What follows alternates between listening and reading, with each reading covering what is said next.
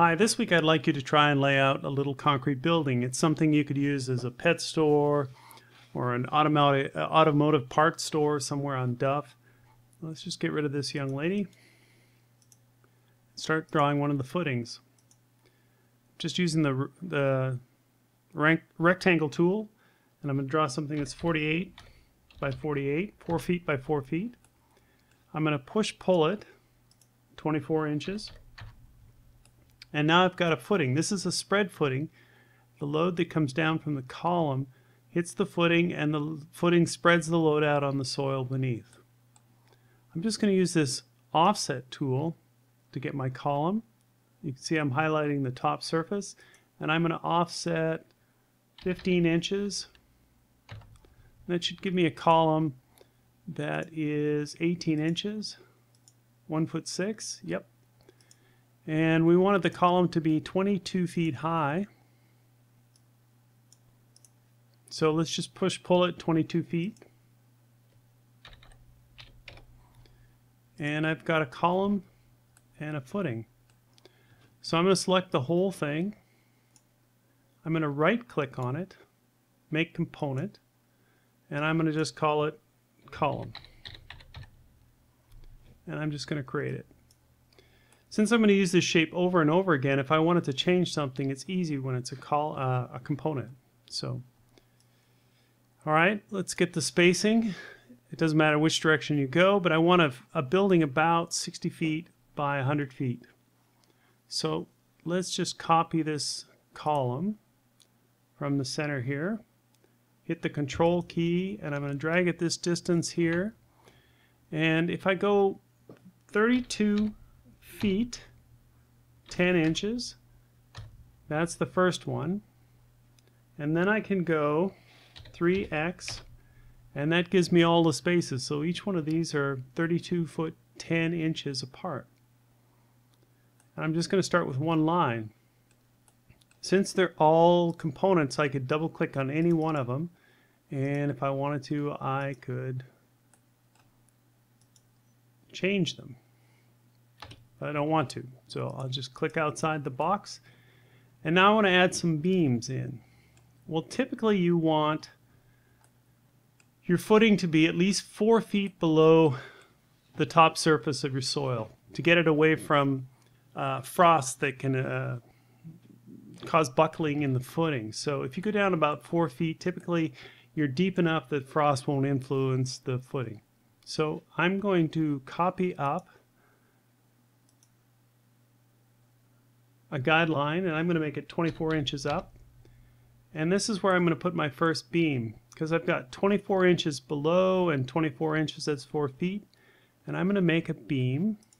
It starts in this corner. I'm using the rectangle tool again. And I'm going to make it, oh, 24 inches high by 18 inches wide. Now this is kind of a big beam for this sort of situation. Later on in concrete design, you'll see that you can make smaller beams. But now I've got a beam, it's not sticking to anything, and I'm just going to push pull it to there. And now I could push pull it all the way through, and who really cares if it just goes through, but I'm just going to create a single beam. And then I can triple click on it, one, two, three, come on, highlight everything, right click, and I'm going to make it a group because I'm not going to change the beam very often, if at all. And now I can copy it. So I'll copy one. I can copy another one. I'm holding the control key down. And I'll just go over there. And I think I got it in the right spot. And now I can copy these beams up. Let's go select, hold the shift key down, select, select, and now I can just copy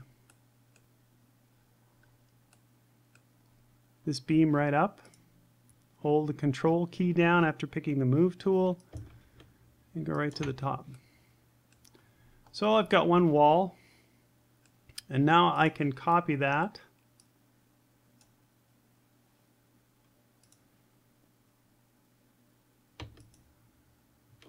Fifty-eight feet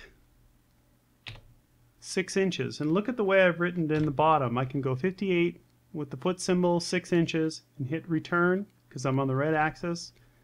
Before I do anything, I'm going to go divide two, and I've got my building layout in this direction. So I'm going to draw another column, I mean another beam, excuse me. So I'll put a guideline 24 inches up. I'll draw a rectangle. And I want it to be 24 inches tall, 18 inches wide, and then I'm going to push pull it to here. Now I'm going to make this little beam here a group. I'm going to copy it up.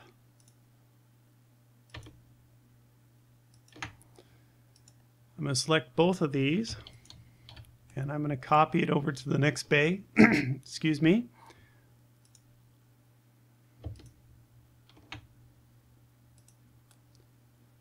And now I'm going to select all four of them and then copy it all the way across. So I'll select that one, that one, and I'm going to copy.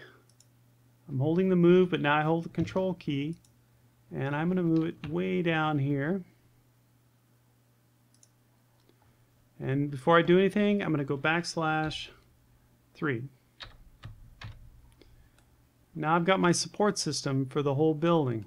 Lots of beams, lots of columns, and the footings. And since everything is a group, nothing will stick to it. So now I want to put on the roof first, and then I'll put on the floor.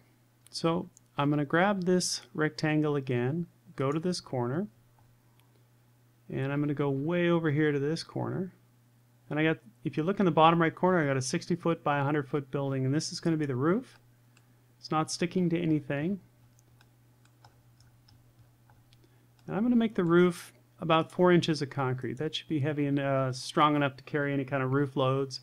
You know, snow, rain, anything like that. People that are going to go up on top. So four inches. And I'm going to double click on it, triple click on it, and make it a group. And now what I'm going to do, I'm just going to grab this lower edge here and copy it down. Hold control key down and I'm on the blue axis I can hold it and I'm just going to lock it on the bottom so I built a building that has a floor in there and a roof and while I'm thinking about it I'm going to go back to the roof and double click now I can edit just this one group and I'm going to use this offset tool again on the roof and go in about six inches and then I'm going to bring up this outside edge, oh, six inches. So I put a little lip on the roof, and we can put drains so the water goes to a corner and drains down. We can put drains. But typically roofs have a little lip because they usually put some kind of aggregate like gravel or something up to help the water flow. All right, so I've got a roof, I've got a floor, and now I just want to fill in the panels. And all I'm going to do for that is I'm going to go around and just use the rectangle key again or tool again and go down and there's one and you can see I have to reverse the face I want the white on the outside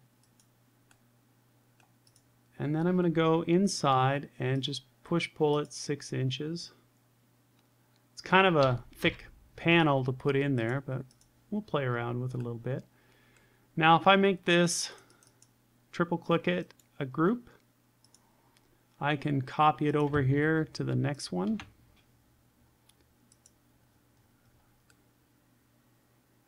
And I think this is going to be the front of the building. So right now I'm just going to use my paint bucket and I'm going to make what? I'm going to make the front translucent.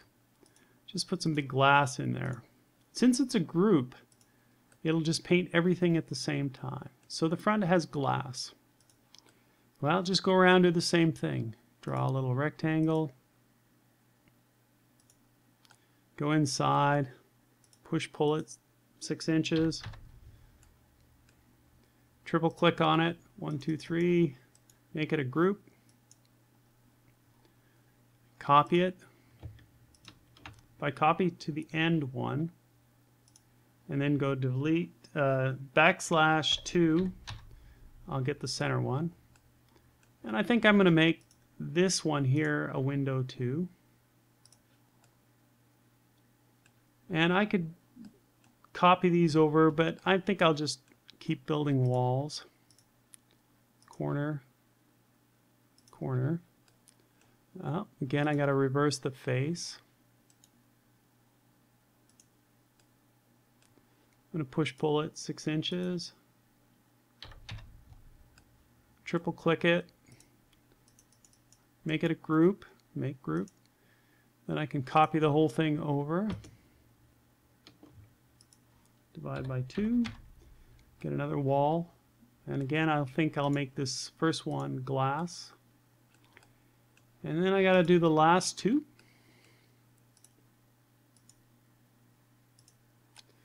reverse the face. Now you might have to zoom inside a little bit. Bring it out six inches. Zoom back out. Triple click on it. Make a group. And then copy it over.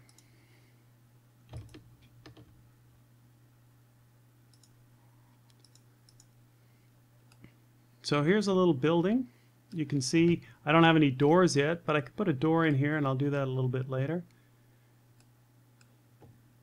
Well, we can add some other textures to the outside. What do we want to use?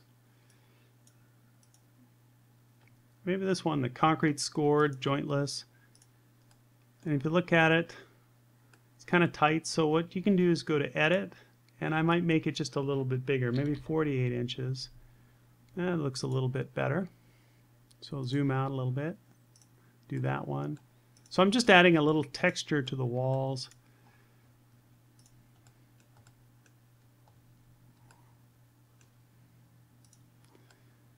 Now, I'm going to want, everything is a group or a component, so nothing will stick.